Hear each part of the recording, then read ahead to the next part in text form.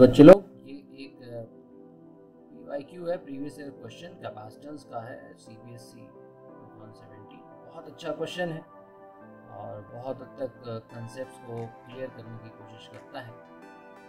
तो एक्चुअली में क्या यहाँ पे बोल रखा है कि आपके पास दो आइडेंटिकल कैपेसिटर्स हैं ए एंड बी यहाँ पर ए ये है और बी आपका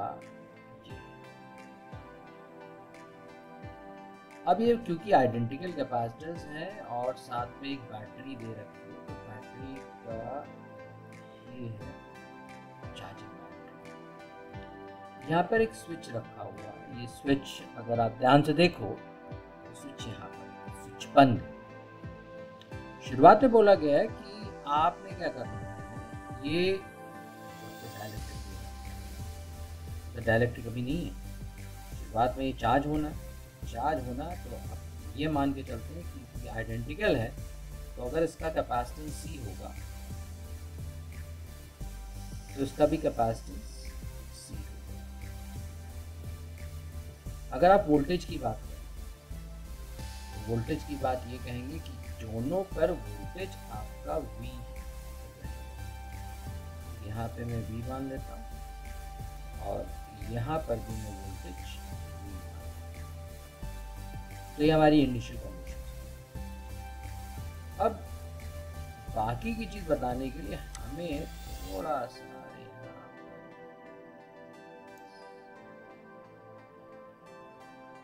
काम करते हैं। हम निकाल लेते हैं यहाँ की एनर्जी तो यू आई मान लिया हमने।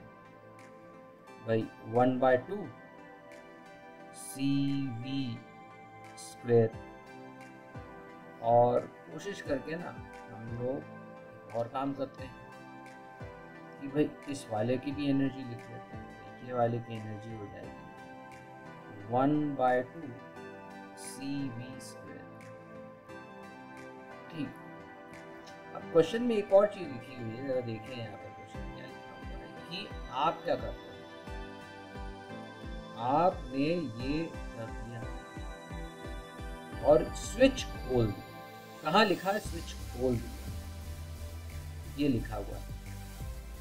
एस इज़ ओपन जब आप इसको ओपन कर रहे हो तो आपने इसको ओपन कर दिया। और ओपन करने के बाद मैं एक और काम करने जा रहा जो कि लिखा हुआ इसमें आपने डायलेक्ट्रिक किसमें? इस वाले में। मतलब ये चीज़ लाई देखो हमने स्विच किया, क्या किया? स्विच खोल दिया।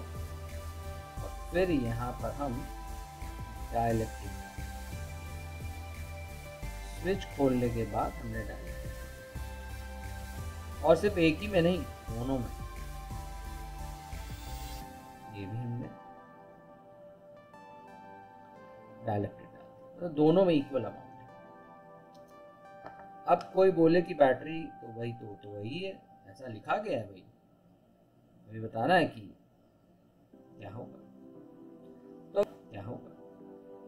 तो अगर हम ए वाले की बात करें तो ए वाले का कैपेसिटेंस क्या हो जाएगा? बी वाले का कैपेसिटेंस तो सीधी बात है कि जब भी आप डायलेक्ट्रिक डालोगे तो उसका कैपेसिटेंस के टाइम्स बढ़ता है। तो भाई यहाँ पर के टाइम्स अगर बढ़ा इसका कैपेसिटेंस तो इसका कैपेसिटेंस हो जाएगा आपके पास? के और डायलेक्ट्रिक आपने यहाँ पर भी डाला है तो यहाँ पर भी कैपेसिटेंस हो जाएगा के टाइम्स अब वोल्टेज की बात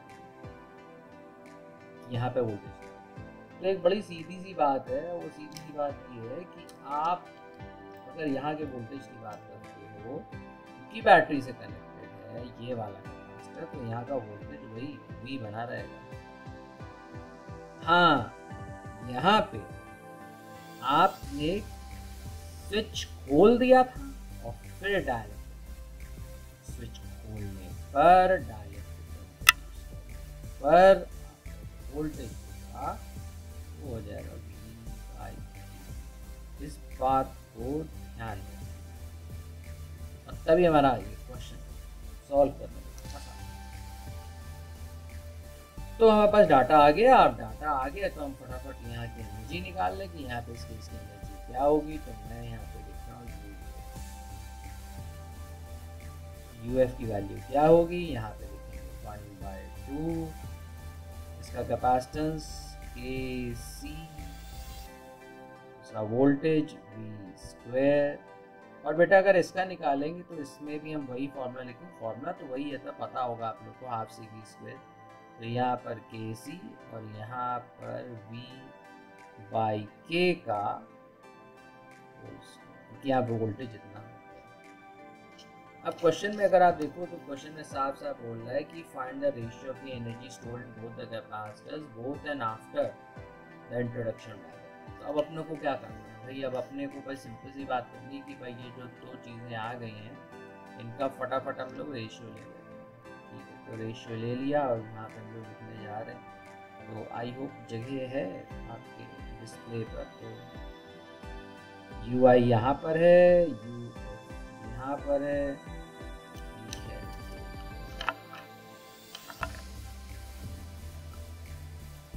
यू आई की वैल्यू क्या होगी? तो यू की वैल्यू होगी one by two C V square plus one by two C V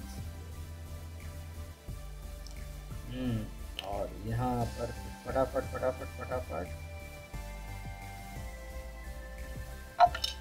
पानी की जो है, वो आपका होगा one by two.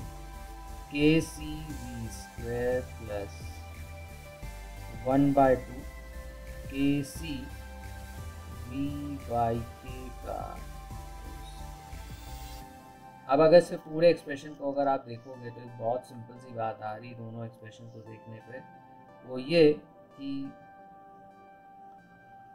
बहुत सी चीज़ें कॉमन होंगी। वो कैंसिल होगी तो भाई क्या क्या कॉमन हो जाएगा? पहले तो one by two one by two one by two और वन बाय टू उसके बाद सी उसके बाद वी